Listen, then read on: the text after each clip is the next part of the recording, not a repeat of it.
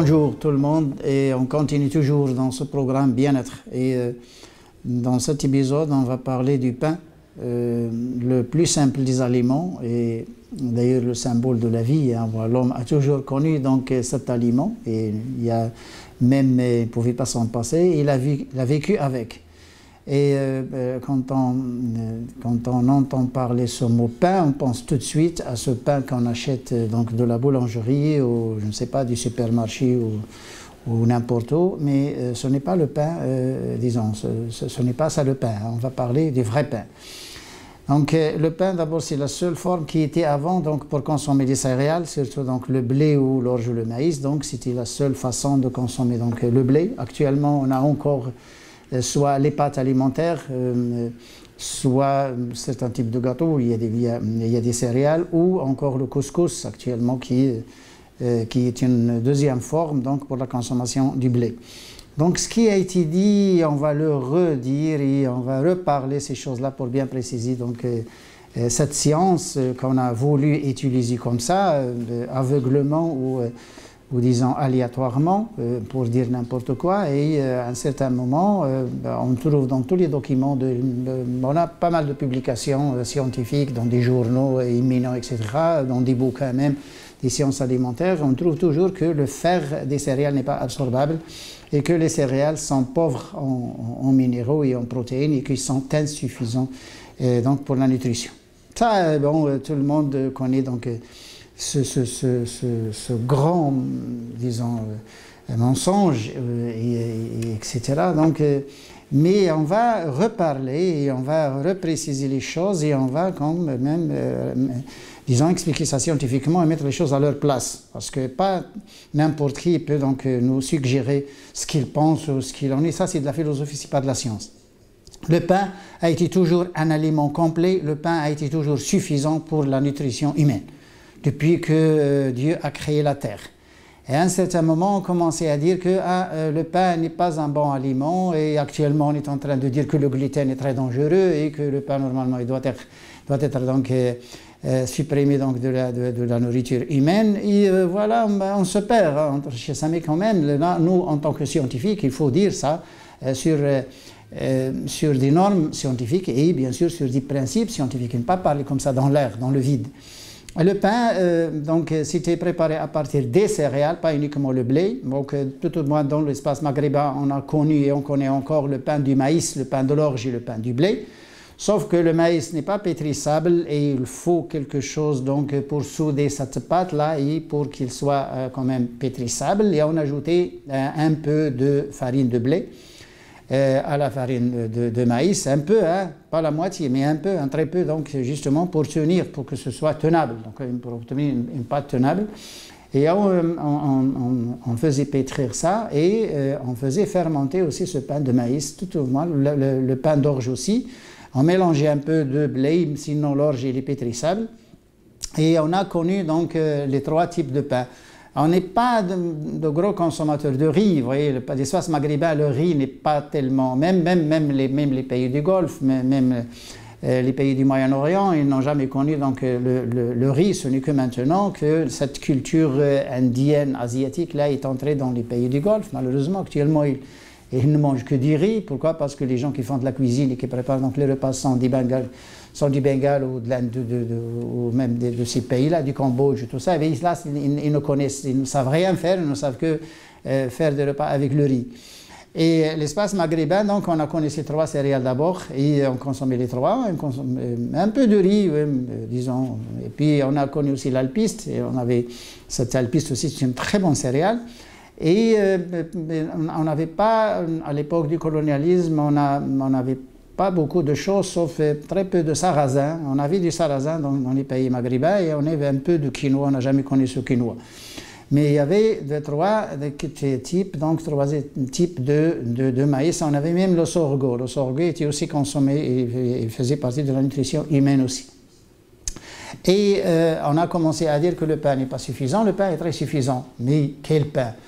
Bon, le pain, le vrai pain dont je parle, hein, c'est le pain euh, fait à partir de la farine de blé ou de l'orge du maïs. Bon, la farine complète, sans tamisage, sans extraire donc euh, hein, sans faire une extraction donc, du sang, sans rejeter le sang, surtout le sang de blé, parce qu'il y a beaucoup de sang dans le blé qui est dans l'orge ou dans, le maïs, mais surtout le blé, on ne rejetait pas, on gardait le sang de blé, on le gardait, on, faisait donc le pain avec du blé entier, quand on fait certaines préparations comme le herbel et le berkoukch, c'était herbel berkoukch, c'était fait avec des graines de blé concassées, donc c'est le, blé complet. Et quand on faisait donc du couscous, le couscous était fait exclusivement à partir de la semoule, donc du blé dur. Actuellement, il y a des sociétés, enfin, mais pas, il y a toutes les sociétés actuellement, ils font du couscous à partir du, blé tendre. Le couscous actuellement qu'on consomme, c'est du blé tendre, bien sûr, parce qu'on peut le souder technologiquement, hein, moyennant des trucs comme ça, on peut avoir cette graine. Avant, les, femmes ne pouvaient pas faire du couscous euh, à partir donc, de la farine du blé tendre, mais c'était exclusivement le blé dur. Et puis l'espace maghrébin, on ne, on ne, connaissait pas les années 40, 50, 60 et même les années 60, on ne connaissait pas le blé tendre. On, ne savait pas ce que c'est avec ce blé tendre qu'on appelle en arabe farina, on ne connaît pas. On n'avait que du blé dur et on avait, euh, entre la Tunisie et l'Algérie Maroc, ces trois pays, on avait quelques 65 variétés de blé autochtones, qui étaient des blés, du vrai blé et euh, le blé dur, bien sûr. Actuellement, on, a, actuellement, tourne avec trois transgéniques. Et euh, cette farine de blé était bien pétrie manuellement, a été pétri avec euh, la levure, euh, euh, disons, traditionnelle, le levain, pas la levure, le, levain traditionnel. Et ce levain traditionnel acide, bien sûr, il est composé de bactéries lactiques et de levure. et, la fermentation, la fermentation forte, c'était la fermentation lactique, pas la fermentation alcoolique.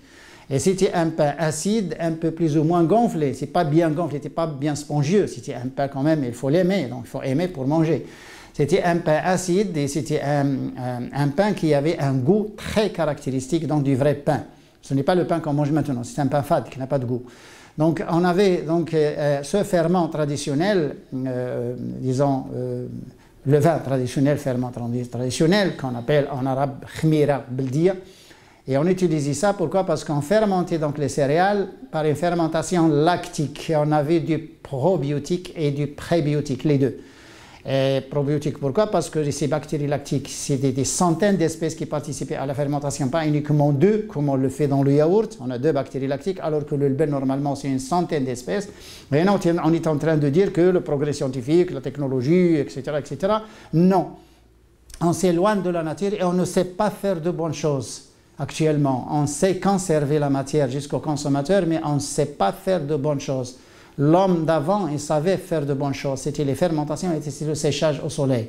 Et actuellement, malheureusement, avec les techniques, etc., et avec trop de sciences et trop de lois mathématiques, etc., stérilisation, pasteurisation, conservation, etc., on perd la matière. On est en train de faire perdre donc la matière, donc son contenu et même son nom. Le pain actuellement, tout le monde, euh, quand on leur dit que le pain que vous mangez, ce n'est pas du pain, c'est de la paille ou je ne sais pas quoi, hein, mais vous ne mangez pas de du pain, là, ils commencent à nous regarder, et le pain, c'est quoi alors? Le pain, c'était la farine complète du blé ou de l'orge du maïs sous le mélange, fermenté avec ce levain traditionnel composé de bactéries lactiques et de levures. Les levures, c'était pas Saccharomyces cerevisiae, tout au moins ce que nous avons obtenu au laboratoire, donc, parce que nous avons euh, analysé des échantillons donc, des quatre pays, euh, euh, Libye, Tunisie, Algérie et Maroc. Donc dans quatre pays, et c'est le même levain. C'est le même levain, c'est la même flore, la microflore, et on avait les bactéries lactiques, d'abord, c'est les, les, lactobacillus et l'épidiococcus. Il n'y a pas de lactococcus, bien sûr, et on a les leuconostocs, et ces leuconostocs, ça a donné une bonne texture donc, à cette, euh, au pain. Pourquoi? Parce que les leuconostocs, ils produisent du dextrane, et c'est ce dextrane-là qui permet de coller et de souder en plus du gluten. Et on avait une bonne pâte, d'ailleurs, de, de, euh, pour la fermentation, une bonne pâte donc boulangère. Donc, on a les leuconostocs, et les leuconostocs, c'est très important parce que certaines espèces de leuconostocs produisent la nysine, hein, c'est des bactériocines, et ces bactériocines-là, ils tuent les bacillus et tout ça parce qu'il peut y avoir une intoxication par les bacillus dans le pain.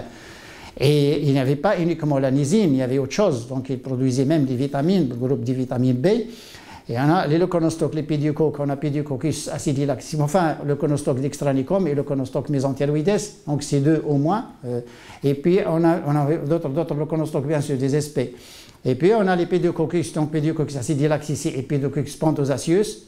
Et Pantosaccius, c'est une, une, souche de pédicoque le plus, la plus rare dans le monde. On en trouve moins donc, dans les pays très, très développés, parce que c'est une espèce qui est en train de disparaître, là, Pediococcus pantosaccius. Pourquoi Parce qu'il fermente le pentose, les pentoses, pas uniquement le pentose. Et ces bactéries lactiques à côté des lactobacillus, on a le brevis premier qui vient en premier lieu, on a Delbrucki d'ailleurs, c'est une sous-espèce, donc c'est une variété de Delbrucki, Lactobacillus delbrucki, avec ses variantes. Et euh, euh, Lactobacillus delbrucki, c'est un hétérofermentaire, hein, sous-espèce brevis, c'est un hétérofermentaire, il produit de l'acide lactique et du CO2, donc il aide un peu au gonflement de la pâte. Et à côté, on n'avait pas Saccharomyces, mais on avait Candida milleri, on avait Candida inusitatus et on avait Candida diastaticus.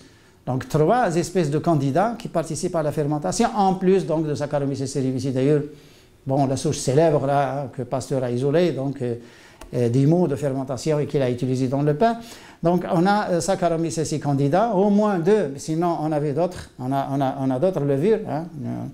Et puis on a les bactéries lactiques, les trois grands genres, donc Lactobacillus pediococcus, le conostoc, et c'est un grand travail que l'homme ne sait pas faire et c'est un grand travail qu'on ne sait pas faire actuellement technologiquement. On ne sait pas le faire parce qu'on ne, peut pas avoir un levain à bactéries lactiques pour le pain. On ne peut pas l'avoir.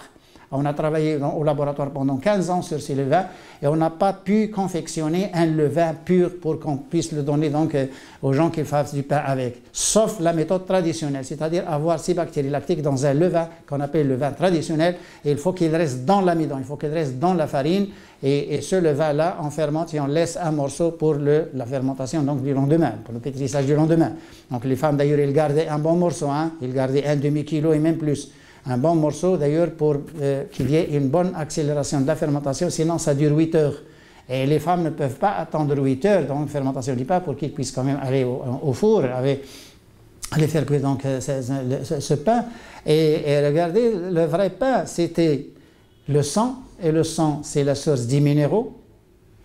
Donc euh, fer, magnésium, zinc, calcium, etc. Et même, même, même, même un peu de, de sélénium. Et c'est source des fibres dans les phytoestrogènes, dans les lignanes, euh, et c'est aussi euh, source des vitamines dans la B1 et la B3.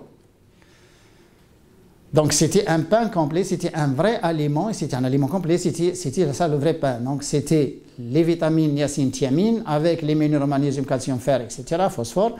Et puis on avait les phytoestrogènes, enfin les, les, fibres avec les phytoestrogènes, et puis fermenté par les bactéries lactiques et la levure. Et quand c'est fermenté par les bactéries lactiques, c'est un aliment donc fonctionnel, c'est un aliment, donc euh, c'est les, probiotiques qui vont arriver jusqu'à l'intestin. Et c'est pourquoi on n'avait pas beaucoup de problèmes au niveau du côlon. Et on n'avait pas beaucoup de problèmes donc, au niveau donc, de cette fermentation indésirable à l'intérieur du corps, donc les gaz, les ballonnements et tout ça, on n'avait pas ça. Et on n'avait pas d'anémie parce que dans euh, les régions lointaines des villes, tout au moins dans mon pays, enfin dans les pays du Maghreb aussi, donc les, gens se nourrissaient du pain avec un peu d'olive ou l'huile d'olive ou des trucs comme ça, des fruits, parce que pourquoi? Parce qu'on mangeait du pain avec des raisins, on mangeait du pain avec les pastèques, on mangeait du pain avec tout. Et c'était un peu de aidé un peu de légumineuses, bien sûr, mais c'était les gens qui consommaient que du pain il n'avait ni anémie, ni ostéoporose, ni cancer du côlon, ni lithiase dans les ni rien, ni euh, insuffisance hormonale chez la femme, ni chamboulage hormonal chez la femme, ni rien. Donc on avait, on avait un aliment complet, un aliment sain qui ne peut apporter ni toxines ni rien du tout parce que c'est un aliment d'origine végétale. Il est fermenté par les bactéries lactiques. Les bactéries lactiques permettent de se débarrasser des micro-organismes indésirables. Et même la flore indésirable pourquoi? Parce que la fermentation dure 8 heures, il dure une nuit. Euh, les femmes pétrissaient donc euh, euh, avant de dormir et puis le lendemain matin ils se réveillent de bonne heure pour aller donc faire cuire ce pain. Et, c'était ça, c'était ça la méthode et c'était ça le bon pain. Oh, bon, ça dure toute la nuit. Ça dure toute la nuit. Donc au début de la fermentation, il y a une phase de démarrage qu'on appelle comme ça, phase de démarrage, phase de latence des bactéries lactiques, mais c'est une phase de démarrage où les micro-organismes indésirables se multiplient dans cette phase, dans les bacillus, dans les microcoques, dans les staphes, dans tout, même les coliformes. Et surtout les bacillus, parce que les bacillus ils sont équipés d'amylase. Et c'est cette flore indésirable pendant cette phase-là qui va libérer un peu d'amylase. Et c'est cette amylase qui va hydrolyser l'amidon en glucose, enfin en maltose, maltotriose. Et puis ce euh, glucose maltose qui va être utilisé par les bactéries lactiques, bien sûr, et par les, euh, les, les, levures, donc candida, type candida. Et pourquoi j'ai insisté sur candida, pas sur Saccharomyces Parce que Saccharomyces, c'est maltose moins. Saccharomyces ne fermente pas le maltose. Il fermente le glucose. Il fermente le saccharose. Il s'appelle Saccharomyces. Mais Candida, c'est une maltose plus. D'ailleurs, au laboratoire, quand on veut identifier les levures, on fait d'abord fermentation du maltose et on appelle maltose plus, maltose moins et on sépare les candidats des Saccharomyces. Enfin, disons, les, les, les sporogènes des non-sporogènes. Et, là, euh, on a les candidats qui vont consommer ce maltose, qui vont fermenter ce maltose-là pour produire du CO2. Et en plus, ils vont donner des enzymes, dont les diastases, parce que ça s'appelle candida diastaticus et donc candida inusitatus, donc ils vont sécréter des diastases dans ce pain. Les bactéries lactiques aussi vont utiliser le maltose. Pourquoi? Parce que brevis est maltose plus. Et d'ailleurs, cette variété euh, aux États-Unis, on l'a appelée Saccharomyces, euh, on l'a appelé Lactobacillus San Francisco. Pourquoi? Lactobacillus San Francisco, c'est un brevis qui fermente le maltose. Et les bactéries lactiques, donc du, levain du pain, elles fermentent le maltose. Et c'est ça le pain. Et c'est un aliment complet, c'est un aliment fort, et c'est un aliment probiotique, et c'est un aliment fermenté par les bactéries lactiques. Actuellement, on ne sait pas le faire, malheureusement, et on commence à dire, donc, euh, bon, euh, la faculté de médecine, on dit que les minéraux sont chélatés par euh, l'acide phytique. oui, le, pain fermenté par la, levure boulangère, c'est-à-dire la panification directe. Là, on a l'acide phytique qui chélate les minéraux et qui chélate tout. Euh, ça, c'est vrai. Mais le pain fermenté par euh, euh, la, levure traditionnelle, par le levain traditionnel, c'est un pain où l'acide phytique est hydrolysé. Il n'y a pas d'acide phytique, donc les minéraux ne sont pas chélatés et sont relâchés. Et nous, étions, hein, nous étions les premiers à démontrer que les, bactéries lactiques ont une phytase. C'était en 1994 et il n'y a, a, aucun travail avant 1914 qui parle donc de la destruction de l'acide phytique par les bactéries lactiques. Et euh, c'est en 1992, mais nous, avons publié ça en 1994. Et nous avons démontré que les bactéries lactiques sont les seules dans la nature, surtout, enfin, les micro-organismes alimentaires, bien sûr, les micro-organismes alimentaires sont les seuls à, qui sont doués, qui sont équipés d'une phytase. Et euh, cette phytase hydrolyse donc l'acide phytique et euh, euh, l'acide phytique, c'est un IP6, c'est un inositol hexaphosphate. Et inositol hexaphosphate, c'est une molécule qui, qui, a, qui a 12 euh, liaisons disponibles, 12 électrons disponibles. Donc, elle peut se lier à 6 euh, atomes de fer ou 6 atomes de magnésium ou 6 atomes de zinc. Donc, une molécule d'acide phytique qui a 6 atomes donc, de minéraux. Donc, ce n'est pas euh, ce n'est pas un chélatant très fort, donc il ne laisse pas les minéraux, c'est vrai. Mais attention, quand il est hydrolysé, il suffit de cliver, il suffit, il suffit de détruire une seule liaison, c'est-à-dire on, obtient un IP5 et un IP6, on, coupe une seule liaison et puis la molécule est désactivée, il lâche tout. Euh, euh, cette enzyme phytase, disons, il est active, enfin, il est active et puis elle désactive l'acide phytique rien qu'en coupant une seule liaison on coupe une seule liaison, on obtient un IP5. On peut aller jusqu'à un IP4, IP3, IP2, oui, mais déjà un IP5, donc la molécule est lâche de tous les minéraux qu'il chélate. Et les bactéries lactiques, ils sont très forts, ils sont très actifs, ils sont très doués donc, de cette activité phytasique. Donc, euh, donc le, vin traditionnel, ce n'est pas uniquement euh, le sang, ce n'est pas uniquement la, B, la B3 et les minéraux, enfin, ce n'est pas uniquement cette fermentation par les probiotiques, l'acide lactique et certaines choses qui sont produites par les bactéries, mais c'est aussi cette force d'hydrolyse de l'acide phytique pour relâcher les minéraux. Et c'est pourquoi les gens qui se nourrissaient uniquement du, pain, ils n'avaient ni anémie, ni ostéoporose, ni rien du tout. Pourquoi? Parce que les minéraux euh, qui sont chélatés par l'acide phytique, ils sont relâchés donc par ce ferment acide, donc les bactéries lactiques, ils relâchent les minéraux. Et ce phénomène, nous l'avons déjà démontré, bon, euh, nous l'avons démontré il y a, il y a euh, il y a bien 15 ans, 16 ans maintenant que nous avons même plus, que nous avons démontré donc ce phénomène que les bactéries lactiques d'ailleurs hydrolysent donc cet acide phytique et le pain devient un aliment complet donc sans euh, contestation, sans rien du tout. Les minéraux sont là, ils ne sont pas chélatés, les vitamines sont là, la, B, la B3 surtout, et on a les phytostrogènes et les, et les, fibres, et on a tous les minéraux, et on a un 10 à 12 de protéines. On avait une variété de blé qui allait jusqu'à 15% de protéines un blé dur. Et cette quantité de protéines est, une quantité suffisante pour le corps. Donc, euh, qu'on ne vient pas nous dire que les céréales ne sont pas suffisants donc de point de vue protéines, mais attention, le monde a vécu sur les céréales et depuis la création de la Terre jusqu'à maintenant, on a vécu sur les céréales, on ne vivait pas sur les viandes. On a vécu sur les céréales et on a bien vécu et on n'avait pas de maladie. Maintenant, on veut modifier, disons, euh, euh, ce, style de vie, donc euh, comme ça par la science et on est en train d'utiliser donc cette arme à double tranche. Là, on l'utilise malheureusement, pas dans le bon sens, mais dans le mauvais sens pour dire aux gens qu'il faut euh, consommer les aliments modernes et les, aliments industrialisés, mais les aliments industrialisés, c'est plein de conservateurs, ils sont stérilisés, les enzymes sont désactivées, il n'y a pas de fermentation, ni prébiotiques, ni rien du tout. Bon, ça, c'est des aliments qui sont inertes. C'est des choses qui sont inertes. Donc, ils n'ont pas grand-chose au corps. Les protéines sont là parce qu'ils sont stables à la chaleur. Puis les sucres, par exemple, ils sont stables à la chaleur, tout, mais le, reste, il n'y en a pas parce que le régime actuellement, il manque d'enzymes manque de phytoestrogènes, il manque d'antioxydants et il manque surtout de molécules sensibles donc qui sont détruites par la stérilisation et par la cuisson forte, la friture en tout cas. Et, ce pain-là, il y a des gens qui euh, pensent que c'est un aliment de rien du tout. Ce n'est pas un aliment de rien du tout, c'est un aliment compliqué, c'est un aliment complet et c'est un aliment quand même qui mérite euh, d'en parler. Et on peut vivre avec du pain quand il est bien fait et on peut vivre même sans maladie et sans ballonnement, sans gaz, sans rien du tout, et même la microflore, microbiote, enfin, même la microflore, on est donc des collants, c'est-à-dire les, bactéries amies, enfin, les micro-organismes amis, ou ce qu'on appelle les micro-organismes utiles, donc ils ne peuvent pas avoir ce chamboulage ou, euh, disons, cette disons, cette destruction par les antibiotiques et les additifs alimentaires. Et puis, on a actuellement un déséquilibre dans la flore au niveau du côlon. On a plus de levures que de bactéries lactiques que de probiotiques malheureusement, et c'est pourquoi on est, on est amené actuellement à recorriger, à revoir qu'est-ce qui se passe.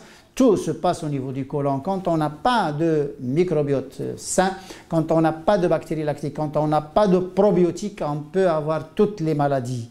Il n'y a pas d'échange au niveau du côlon. Il y a euh, un, un, côlon, euh, disons, poreux et un côlon qui laisse perdre beaucoup de choses. Et euh, malheureusement, on a même euh, des toxines et des trucs comme ça qui s'accumulent dans ce côlon et c'est pourquoi il y a toujours des inflammations euh, disons, au niveau du côlon et au niveau de la région colorectale, on peut aller jusqu'à un cancer colorectal et disons, c'est ça qui explique un peu d'où devient ce mal au niveau du côlon. Donc voilà, toujours dans bien-être. Un, un, autre épisode, Inch'Allah. Salam alaikum.